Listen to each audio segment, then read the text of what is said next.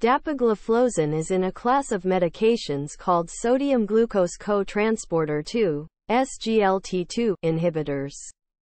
It lowers blood sugar by causing the kidneys to get rid of more glucose in the urine. Mode of action So it reversibly inhibits sodium glucose cotransporter 2, SGLT2, in the renal proximal convoluted tubule to reduce glucose reabsorption and increase urinary glucose excretion. Indications and dose So this drug is indicated in type 2 diabetes mellitus when metformin inappropriate as monotherapy or used in combination with insulin or other antidiabetic drugs.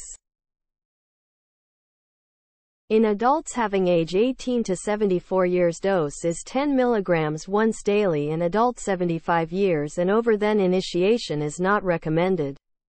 This drug is also indicated in type 1 diabetes as an adjunct to insulin in patients with a BMI greater than or equal to 27 kg per meter 2, when insulin alone fails to achieve adequate glycemic control.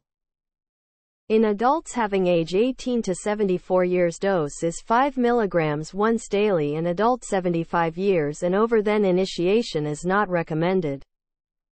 Now what are the side effects of this drug so common or very common side effects includes The very common side effect of dapagliflozin is that it causes back pain. It also causes balanoposthitis which is a condition that affects the penis. It causes inflammation of the foreskin and glands. The foreskin, also known as the prepuce, is a fold of movable skin that covers the glands of the penis. The glands, or head, is the rounded tip of the penis. It also causes diabetic ketoacidosis so if you experience its signs and symptoms so discontinue it immediately.